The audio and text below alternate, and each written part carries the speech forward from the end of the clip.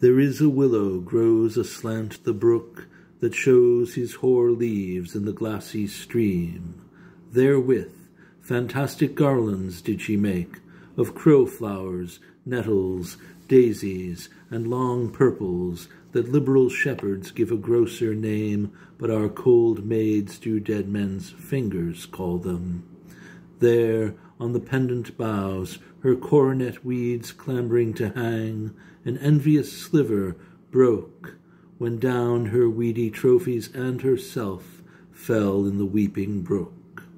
Her clothes spread wide, and mermaid-like a while they bore her up, which time she chanted snatches of old lauds, as one incapable of her own distress, or like a creature native and endued unto that element. But long it could not be, till that her garments, heavy with their drink, pulled the poor wretch from her melodious lay to muddy death.